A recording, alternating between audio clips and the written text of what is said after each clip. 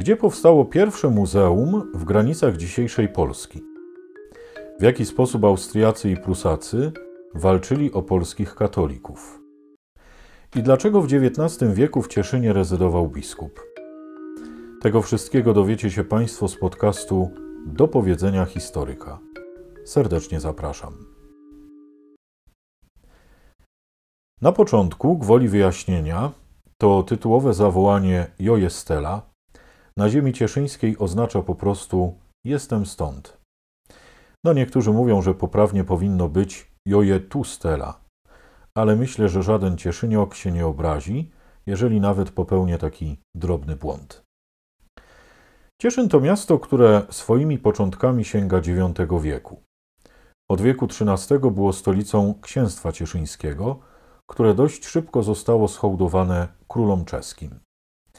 Natomiast w XVII wieku księstwo cieszyńskie zostało przejęte przez austriackich Habsburgów. Tak funkcjonowało właściwie do 1918 roku, kiedy podjęto pierwsze decyzje o podziale Śląska Cieszyńskiego między Polskę i Czechosłowację. Właśnie te krótkie informacje związane z panowaniem Austriaków na tych terenach są niezbędne do zrozumienia treści tego właśnie podcastu. Od znanych nam początków na ziemi cieszyńskiej kwitło życie religijne. Każdy z nas może otworzyć portfel i zobaczyć na banknocie 20-złotowym romańską rotundę świętego Mikołaja w Cieszynie. To jest jeden z najstarszych polskich zabytków, pochodzący z XI wieku. Ziemia cieszyńska znajdowała się wtedy na wschodnich krańcach diecezji wrocławskiej. Na rzece Białej, która dzisiaj przepływa przez miasto Bielsko-Biała, niegdyś przebiegała granica polityczna między księstwem cieszyńskim a księstwem oświęcimskim. To ostatnie później weszło w skład Rzeczpospolitej, a po rozbiorach w skład Galicji. Ale na rzece Białej przebiegała także granica między diecezjami, granica kościelna. Ziemia cieszyńska, tak jak wspomniałem, znajdowała się jeszcze na terenie diecezji wrocławskiej, ale ziemia oświęcimska już na terenie diecezji krakowskiej. Od XIII wieku w Cieszynie pracowali benedyktyni, którzy szybko przenieśli się do nowego klasztoru w Orłowej. Ta miejscowość dziś znajduje się na terenie Czech. Kiedy w XV wieku poświęcano tutaj klasztorny kościół, to na uroczystość przybyli biskupi zarówno z Wrocławia, jak i z Krakowa. Można więc powiedzieć, że to wydarzenie to bardzo dobry przegląd stosunków narodowościowych, jak również zainteresowań politycznych na tym terenie. Sami benedyktyni niewątpliwie wpłynęli na gospodarczy rozwój całego regionu. W XIII wieku do Cieszyna przybyli także Dominikanie, którzy byli związani z panującą tutaj dynastią książęcą. Na krótki czas pojawili się tu także Franciszkanie, a później Bonifratrzy, którzy prowadzili szpital i aptekę. W XVII wieku do miasta przybyli jezuici, którzy oprócz nowoczesnego, świetnego jak na owe czasy duszpasterstwa, prowadzili tutaj także bardzo dobre gimnazjum i ewangelizowali beskidzkich górali. Kiedy w 1773 roku papież zlikwidował zakon jezuitów, to jeden z byłych jego członków, ksiądz Leopold Szersznik, utworzył w pojezuickiej bibliotece w Cieszynie pierwsze muzeum w granicach dzisiejszej Polski. No nie można również zapomnieć o reformacji na ziemi cieszyńskiej. Przecież na pewien czas luteranizm stał się tutaj wyznaniem panującym. Nawet po reformie katolickiej spora część mieszkańców pozostała protestantami. Na początku XVIII wieku w Cieszynie wybudowano Kościół Jezusowy, który przez pewien okres czasu był jedynym kościołem ewangelickim na terenie olbrzymiej monarchii Habsburgów. W połowie XVIII wieku rozegrały się trzy wielkie wojny o panowanie nad Śląskiem, wojny pomiędzy Austrią a Prusami. No z oczywistych względów te wojny nazwano wojnami śląskimi. Do tej pory właściwie cały historyczny Śląsk, poza niewielkimi kawałkami, ale oczywiście z Wrocławiem, od ponad 200 lat był pod panowaniem austriackim. Warto zaznaczyć, że była to jedna z najbardziej bogatych i rozwiniętych gospodarczo prowincji. Dlatego walki o Śląsk trwały około 20 lat.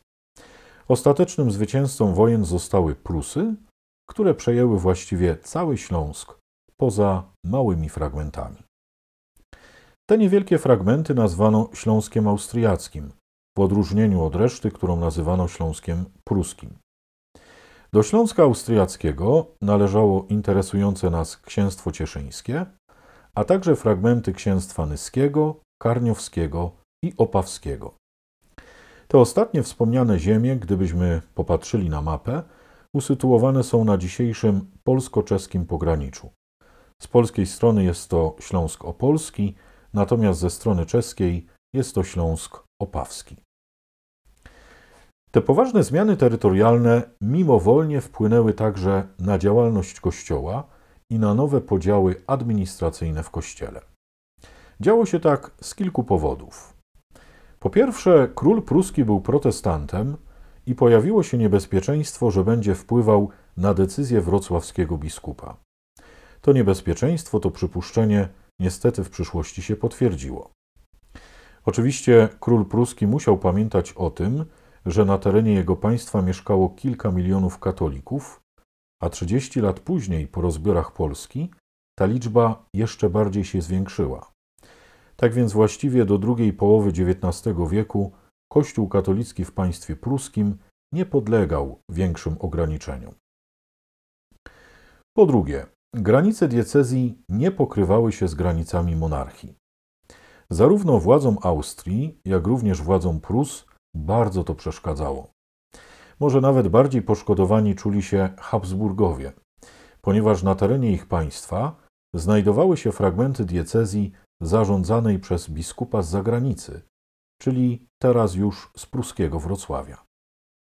Tymi fragmentami było księstwo cieszyńskie i księstwo nyskie, ponieważ Opawa, która takim swoistym klinem rozdzielała oba te terytoria, należała do diecezji ołomunieckiej. Dlatego poszukiwano jakiegoś złotego środka, żeby ogarnąć tę całą niekomfortową sytuację. Pomysłów było naprawdę dużo i rozkładały się one na wiele lat.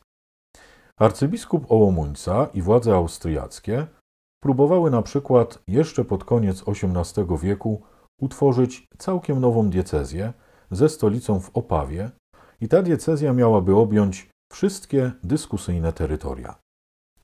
Wbrew pozorom takie pomysły tworzenia nowych struktur kościelnych na potrzeby państwa wcale wtedy nie były zaskakujące, nie były żadną nowością.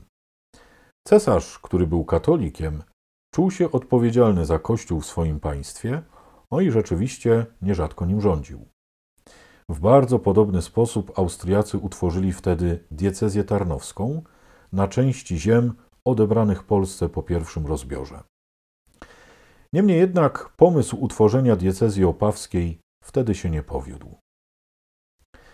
Jeszcze później, bo w 1821 roku, Prusacy doprowadzili do przeniesienia dekanatów Pszczyna i Bytom z diecezji krakowskiej do diecezji wrocławskiej.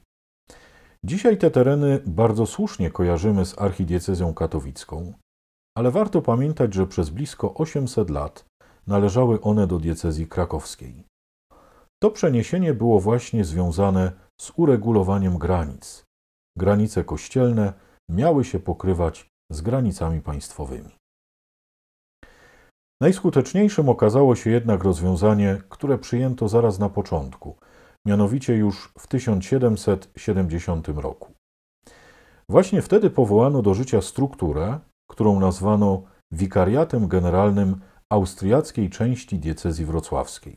Skomplikowana nazwa. Wikariat składał się z dwóch komisariatów, cieszyńskiego i nyskiego, które były podzielone na dekanaty. Takie rozwiązanie było bardzo praktyczne. Trzeba mieć świadomość tego, że diecezja wrocławska była wtedy bardzo ogromna. Obejmowała nie tylko Śląsk, ale także Berlin, a nawet sięgała do Morza Bałtyckiego. Wikariat generalny pozwalał zdecydowanie lepiej zarządzać na terytorium tak bardzo oddalonym od stolicy diecezji, czyli od Wrocławia. I przyszłość pokazała, że ta struktura w jakiś sposób przetrwała ponad 200 lat. Właściwie na terenie Czechosłowacji jej pozostałości zostały zlikwidowane dopiero w 1978 roku. Wikariuszami generalnymi zostawali dziekani któregoś z dekanatów, które wchodziły w skład całego wikariatu. A więc byli to dziekani z Cieszyna, Strumienia, Frytku, Frysztatu czy też z Bielska. Byli to Polacy, Niemcy i Czesi, można powiedzieć przedstawiciele wszystkich narodowości, które zamieszkiwały te tereny. Zasadniczo wikariusze rezydowali w swojej parafii, w swoim mieście. Posiadali szerokie uprawnienia, oczywiście nie mogli święcić kapłanów, ale dokonywali zmian personalnych w parafiach, troszczyli się o rozwój życia zakonnego, troszczyli się o oświatę, o kulturę, czy także o dzieła charytatywne. Mieli nawet swoich sekretarzy, którymi byli wikariusze ich parafii. Wikariat generalny posiadał także własne seminarium duchowne, które kształciło kapłanów. To seminarium mieściło się w miejscowości Widnawa, to jest niewielkie miasteczko leżące dziś 2 km od polskiej granicy, a 20 km od Nysy. To seminarium rozpoczęło swoją działalność już w 1899 roku. Biskup wrocławski specjalnie powołał je do życia, aby mieć lepszy kontakt i lepszy wpływ na formację duchowieństwa, które pracowało za pruską granicą. Seminarium duchowne w Widnawie funkcjonowało aż do 1945 roku, chociaż wikariat generalny już wtedy oficjalnie nie istniał, o czym zresztą za chwilę powiemy. W 1872 roku wikariuszem generalnym został cieszyński proboszcz Franciszek Śniegoń. Była to postać wyjątkowa. Przede wszystkim dlatego, że 11 lat później, w 1883 roku, ksiądz Śniegoń został wyświęcony na biskupa. Był sufraganem, czyli biskupem pomocniczym wrocławskim, ale miejscem jego rezydowania miał pozostać Cieszyn. Tym samym duszpasterstwo jeszcze bardziej przybliżyło się do wiernych. Chociażby częściej święcono nowe kościoły, częściej udzielano sakramentu bierzmowania, co w tamtych czasach wcale nie było takie oczywiste. Ciekawostką, która moim zdaniem po raz kolejny ukazuje pogranicze kultur w tym regionie, jest fakt, że święceń biskupich księdzu Śniegoniowi udzielił biskup wrocławski Robert Herzog oraz biskup krakowski Albin Dunajewski. Sama uroczystość miała miejsce w podominikańskim kościele świętej Marii Magdaleny w Cieszynie. Biskup Śniegoń starał się być duszpasterzem wielu narodowości. No warto pamiętać, że w latach 90. XIX wieku Polacy na Śląsku Cieszyńskim stanowili około 60% mieszkańców. Kolejną grupę narodowościową stanowili Czesi, a następnie Niemcy. Różne były także stosunki wyznaniowe. Ponad 70% stanowili katolicy, około 27% protestanci oraz niewielka, 1,5% społeczność żydowska. Biskup Śniegoń popierał polski ruch narodowy. Akceptował wiele jego dzieł, ale bezpośrednio nie angażował się w jego działalność. Jednocześnie organizował duszpasterstwo dla Niemców. To właśnie w okresie jego rządów do Cieszyna powrócili jezuici, powstał także Polski Dom Katolicki oraz propolskie Dziedzictwo Błogosławionego Jana Sarkandra. Biskup Śniegoń miał tak mocną pozycję, że po jego śmierci w 1891 roku biskup wrocławski Georg Kopp ustanowił specjalną funkcję kanclerza, który miał kontrolować każdego nowego wikariusza generalnego. No niestety biskup Kopp był bardzo proniemiecki i był znany z działań, które ograniczały polski ruch narodowy. Prusacy zresztą bardzo nieprzychylnie patrzyli na obecność biskupa w Cieszynie. Tym bardziej, że ten biskup był Polakiem. Uważali, że biskup będzie dążył do tego, żeby wikariat generalny oderwać od diecezji wrocławskiej. Tym samym zmniejszyłyby się wpływy niemieckie na tym terenie. No i rzeczywiście było w tym pruskim myśleniu wiele racji. ponieważ na przełomie XIX i XX wieku czyniono starania, aby Śląsk Cieszyński przyłączyć do Galicji, zasadniczo zarządzanej przez Polaków. Czyniono również starania, żeby kościelnie Śląsk Cieszyński przyłączyć do diecezji krakowskiej. Te próby oczywiście się nie powiodły, ponieważ zostały mocno oprotestowane i zostały storpedowane przez Czechów i przez Niemców. Wikariat generalny został oficjalnie zlikwidowany w 1925 roku, kiedy to utworzono diecezję katowicką. Tak na marginesie warto dodać, że w związku z tworzeniem nowych struktur kościelnych w Polsce właśnie w latach dwudziestych, po odzyskaniu niepodległości, pojawiła się propozycja utworzenia diecezji cieszyńskiej. Propozycja ta jednak całkowicie upadła. Natomiast wracając do kwestii likwidacji wikariatu generalnego, to dotyczyła ona tylko tej części Śląska Cieszyńskiego, która została włączona do Polski. Bo trzeba pamiętać, że pięć lat wcześniej, w 1920 roku, ziemia cieszyńska została podzielona pomiędzy Polskę i Czechosłowację. Czechosłowacka część wikariatu, zarówno na ziemi cieszyńskiej, jak również na ziemi nyskiej, w jakiś sposób funkcjonowała nadal, ponieważ nadal należała do diecezji wrocławskiej. Stolica diecezji nadal znajdowała się poza granicami kraju. Biskup wrocławski ustanowił tutaj dwa komisariaty, a ich szefowie mieli także uprawnienia wikariusza generalnego. No jeżeli komuś wydaje się, że ta historia jest za mało zagmatwana, to jeszcze dodam, że kiedy w 1938 roku Polska zajęła Zaolzie, to sporą część tego wrocławskiego komisariatu w Czechach przyłączono do diecezji katowickiej.